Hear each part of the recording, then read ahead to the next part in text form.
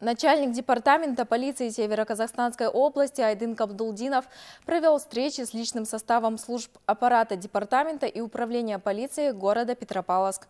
В центре внимания вопрос укрепления дисциплины сотрудников. Подробности далее. На встречах присутствовали руководство и личный состав оперативных служб, следствия и дознания, патрульной полиции, а также штаба, миграции, связи и остальных подразделений. Отмечено, что вопросы дисциплины и строгого соблюдения законности, недопустимости коррупционных преступлений в равной степени касаются всех. Хотя я знаю, что среди нас есть достойные сотрудники, грамотные сотрудники, профессионалы своего дела.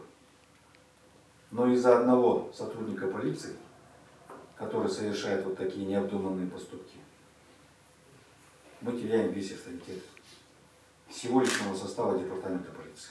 В ходе встреч продемонстрированы видеоролики, рассмотрены конкретные случаи нарушений учетно-регистрационной и автотранспортной дисциплины других норм. А нет, некоторые наши сотрудники умудряются отключать видеорегистратор, закрывать, оставлять в салоне патрульной автомашины,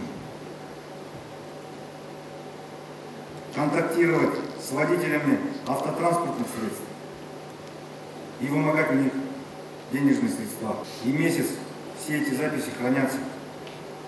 В любой момент мы можем поднять, посмотреть, проанализировать и принять в отношении вас меры дисциплинарного характера. Дисциплина начинается с элементарных норм этического поведения. Полицейский ни в чем не должен давать повода для упрека. Простой пример. Вот стоят трое, курят, харкаются, а их засняли.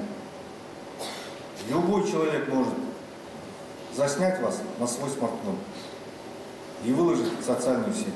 Начальник ведомства подчеркивает, человеку в погонах полицейского оказано особое доверие. Созданы оптимальные условия для несения службы. Полицейские обеспечены стабильной зарплатой и пакетом социальных гарантий. В ответ государство ожидает неукоснительного исполнения долга по защите законных интересов людей.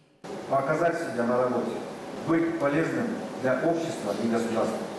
Стражи правопорядка напоминают, о любых нарушениях законности со стороны сотрудников полиции следует сообщить в Управление собственной безопасности. Также в стране функционирует единый телефон доверия Министерства внутренних дел Республики Казахстан 1402. Адилия Кушакова при содействии пресс-службы областного департамента полиции.